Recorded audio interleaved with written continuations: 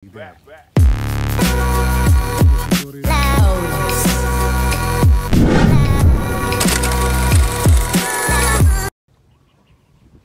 Isang masayang araw po. Dito muna ulit tayo sa extension area ng ating second breeding pen. Yan po ang mga anak ni Tanso. At humalo po yung mga biik ni Puti. Manak po si Puti. Anim po ang kanyang naging anak. Dito po siya kasama si Tanso sa area. Yan po si Tanso. Dapa lang, kain pa rin.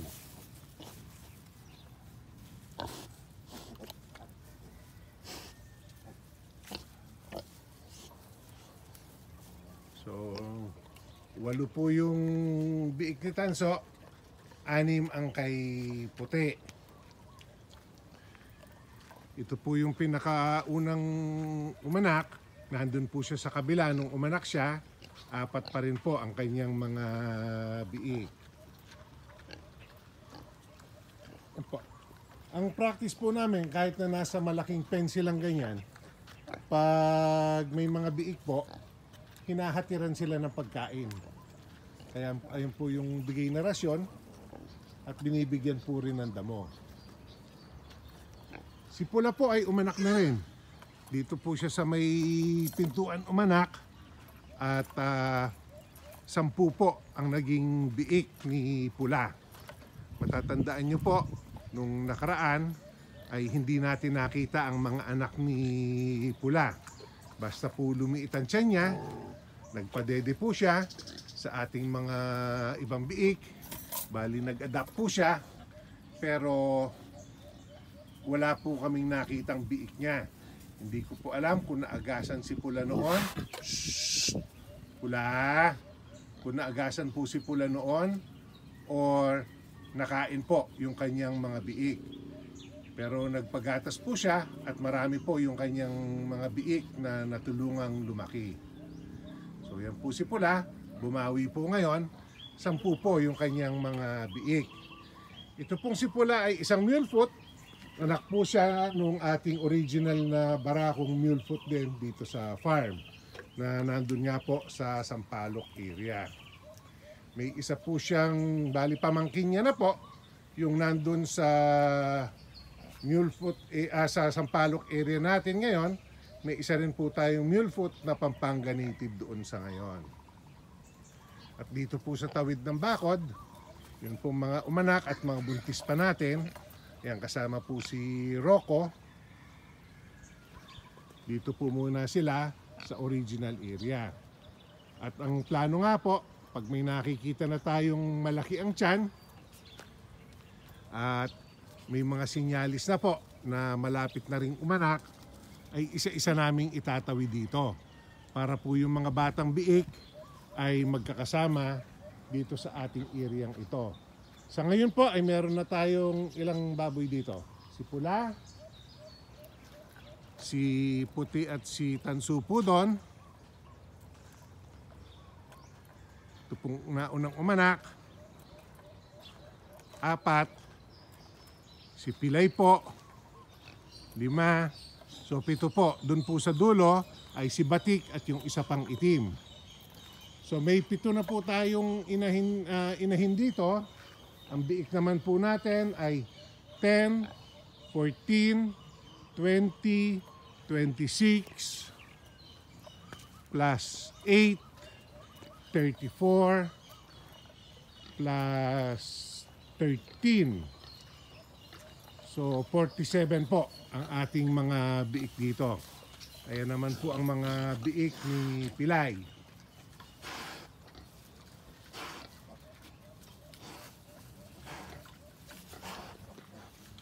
dito po sa dulo, nagsama nga po ang itong inahin pong ito, yung pong nahiga, at si Batik.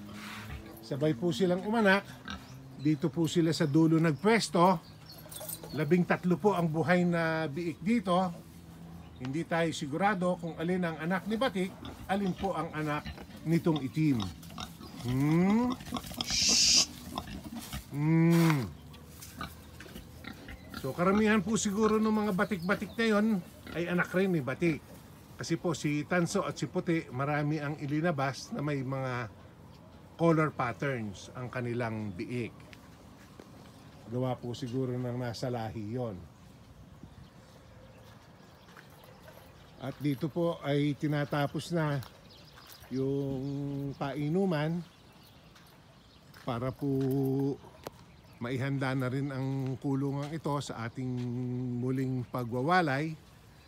Yan po, si Mar naman ay kinakalaykay para po yung mga bato at dumi ay maipon para po pag sinabugan uli natin ang apog ay sa lupa mismo ang tama ng apog para po mag-work sa kanyang dapat na gawin na is- ma-sterilize po ang ating lupa. So yan po, lima na ang ating magiging palakihan. Apat pong magkakadugsong ito.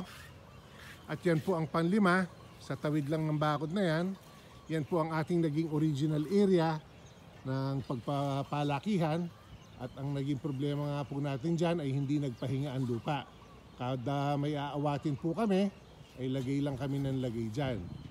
Hanggang sa siguro masyado na pong marumi ang lupa ay nagkasakit ang ating mga alaga. Kaya po sa ngayon, ang practice namin ay nagpapahinga ang lupa bago po lagyan uli. Kaya nga ang project po ay magdagdag ng mga growing area. Pwera po dun sa large breeding pen natin na ayusin pa natin bilang another breeding area. Kaya nga po itong pinaglagyan ng bibi dati, pinag-aaralan ko pa po kung paano namin gagamitin Ah, kaya yan, pinasubugan na rin po natin ang apog at asin para po ma-disinfect siya ng maayos. So pwede pong gamitin din natin growing area ito. Lalaparan lang po natin, kakalasin yung bakod sa gawing ito at makakasama po yung area na may mga madamong yan. So pag-aaralan pa po natin kung ano ang kailangan gawin. Di- Dito po tayo sa Sampalok naman naayos na itong bakod para po itong malalaking biik ay maiwalay na natin at dito lang po sila sa tabi pupunta. Maayos na po yung pakainan at painuman nitong ating kulungang pagwawalayan. Teka lang, tapusin muna natin bago uhimas. Eh? Puro kayo himas kagad eh. So, yan po, tatapusin lang yung bakod at maitatawid na natin. Ah, pinasasapinan ko lang po ng yero itong gawin dito para po hindi masyadong mag ano yung magkita yung mga inahin at biik. Baka po kasi pilit na magtalunan pag natatanaw nila ang isa't isa. Kaya ito lang po ang sasapinan namin ng yero. Pagkagawa po ng bakod na yan, aayusin na po yung pakainan. Ito pong basag na pakainan ay aalisin na. Ito pong bakod na mesh wire ay papalitan na. Kamukha po nung ginawa rito sa kabila. Ito pong malaking mesh wire ay aalisin na namin sa iba naming lugar gagamitin. Temporary lang naman po talaga yung pagkagagamit namin yan noon. So diyan po, tatayuan natin ang kainan dyan. Ayusin po yung pakainan doon. Tapos sa gawi po ron, ay gagawa tayo ng painuman. Yan ang magiging galaw naman po dito. Pero yung pong mga paggawang yon ay pagka nawalay na po. Excuse me po. Itong ating malalaking biik. Kaya sinasanay na po na magpakain dito. Yan po. Sapal na may premium starter po ang ipinakakain. Para pag nawalay po ay sanay na silang yan ang kanilang pagkain. Pag nagawa na po naman yung ating pakainan at painuman dito, kakalasin na ang bakod na ito at ito pong buong area ay magagamit na ng ating mga breeder. At third, So yan po ang ating plano dito sa Sampaloc Pen na siya pong dati nating first breeding pen.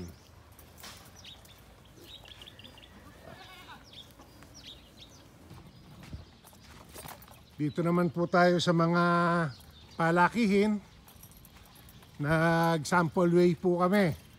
At ah, meron na pong yung malalaki po ay between 27 and 31 kilos na nung sampulan namin. Kaya itong linggo pong ito ay maghahatid na ako kay ka-farmer. Tatanungin ko lang po siya kung anong araw niya gusto kong gustong ipa-deliver. So, yan po ang ating mga palakihin. May malalaki na po. Yung pinakamaliit ay 19 kilos dun sa mga nasample. So, mababawasan na po ang mga ito. Pipili po tayo ng mga limang babae na gagawin pa nating replacement gilts kung may mapipili po tayo yung talagang magaganda. So, ito pong 43 na ito ay pipilian ko lang ng lima po maximum na pipiliin ko. Yung pinaka magaganda lang po ang ititira natin para gawing breeder. Ayun po siguro yung 19 kilos, siya ang pinakamaliit na nakikita ko. So pag nabawasan nga po natin ito ng marami-rami na, isasama na natin sila dito sa ating mga bagong iwinalay para po makapagpahinga na ang kulungan na ito at ang susunod na pagwawalay nga natin, doon na po tayo sa pinakadulo maglalagay. Para sunod-sunod po nun, ang gamit, magiging gamit ng mga kulungan natin from pen number 4, kasunod po yung tawid bakod na pen number 3, tapos po, dito na maglalagay at pinakahuli pong magagamit itong ating pinakahuliring pag aalisan ng mga baboy. So yan po ang ating plano naman para sa ating mga palakihin na magsusunod-sunod na nga po ang pag-anak ng mga alaga natin sa second breeding pen at sigurado po ay may sisingit na rin yan dito sa ating consolidated pen. Kasunod po nun ay yung mga iniwan nating breeder sa Sampaloc, may mga aanak na po uli doon kaya magtutuloy-tuloy na po tayo. At kam March po, yung mga labing-anim nating dumalaga na ilinagay na dun sa isang kulungan, ay pwede na ring pakastahan po yon. So susubukan natin yung batik na bulugan natin na QB Cross Berkshire galing po sa Candelaria kung ah, magiging successful siya. Maliban po doon, yung lima nating dumalaga na nasa rabbit tree. Si Kay po ay nakastahan na. Yung apat ay hindi pa po namin na ko-confirm na nakastahan. So yan po ang ating mga susunod na mga inaasahang aanak at panggagalingan po ng ating mga future na biik dito sa 4A Animal Farm. Maraming salamat po sa inyong laging pagsama. Please share, like, and subscribe.